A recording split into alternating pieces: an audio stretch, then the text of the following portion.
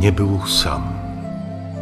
Mięśnie jego wrastały w ogromny tłum, dopóki dźwigały młot i pulsowały energią. Lecz trwało to wszystko tak długo, dokąd czuł pod stopami grunt, dokąd kamień nie zbiażdżył mu skroni i nie przeciął komór serca. Wzięli ciało, szli milczącym szeregiem.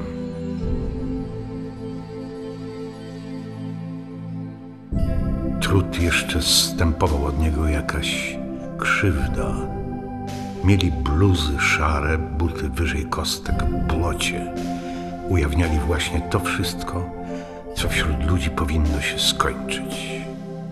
Czas jego stanął gwałtownie. W zegarach niskiego prądu zerwały się nagle wskazówki i spadły z powrotem do zera. Przeniknął go biały kamień, w istotę jego się wżarł i przejął ją wreszcie na tyle, że stała się sama kamieniem. Któż z niej odwali kamień? Kto myśli na nowo rozpostrze w skroniach głęboko pękniętych, tak pęka na ścianie tynk.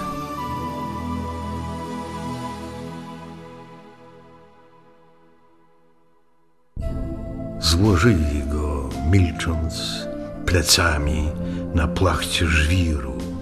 Przyszła znękana żona i wrócił ze szkoły syn.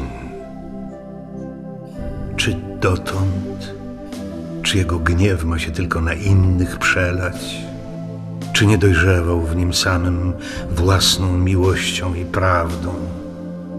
Czyż mają go jak tworzywo zużyć pokolenia i wyzuć z treści najgłębszej, jedynej i własnej? I znowu ruszyły kamienie. Wagonik ginie w kwiatach i znowu prąd elektryczny ściany głęboko tnie.